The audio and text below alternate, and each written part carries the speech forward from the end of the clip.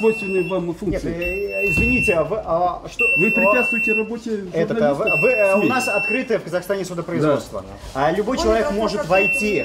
А снимать или не снимать, это по усмотрению судьи во во время процесса. Так начинается первое слушание по делу настоятеля Свято-Сергиевского прихода отца Сафрония. В миру Петр Евтихеев прожил в Казахстане два года без вида на жительство и за это время несколько раз подвергался административным штрафам. Сначала вроде не вовремя сдал документы, потом сотрудникам СЭС вдруг не понравилось обычное ведро в приюте. Теперь его судят, выражаясь по-спортивному, за затяжку времени. Только после этого гражданин Евтикеев обратился в отделение миграционной полиции Илийского РОВД с заявлением о выдаче ему вида на жительство иностранца.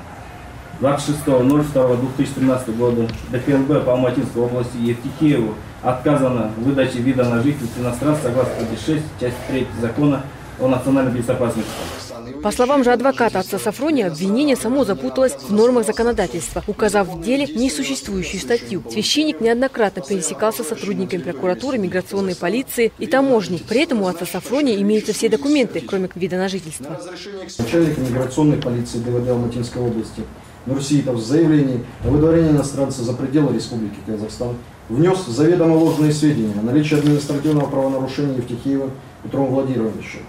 Зафиксировано в протоколе об административном правонарушении от 30.10.2012 года. Указанный протокол представлен в суд 15.07.2013 года, подписан не Евтихеевым, а неизвестным ему лицом, о чем он заявил на беседе суду 22.07.2013 года.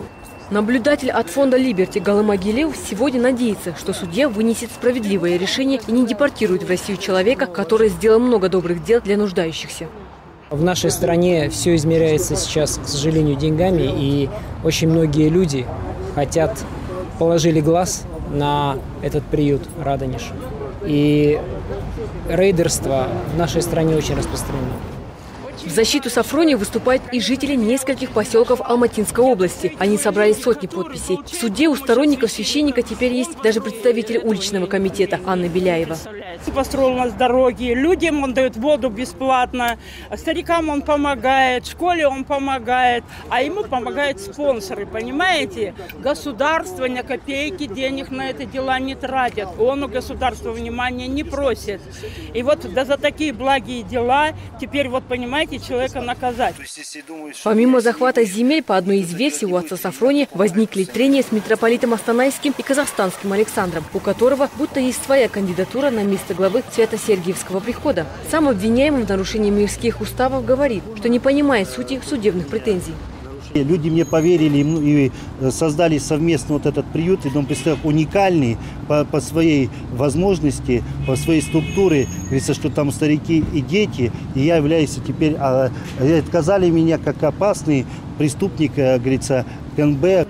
Пока суд отложили на начало следующей недели. Подсудимый Евтихеев говорит, что страшится не депортации на историческую родину. Его беспокоит судьба тех людей, кого приютил Свято-Сергиевский приход.